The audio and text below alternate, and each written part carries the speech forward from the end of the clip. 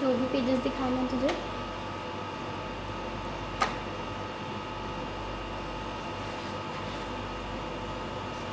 दो बार कर हर चीज़।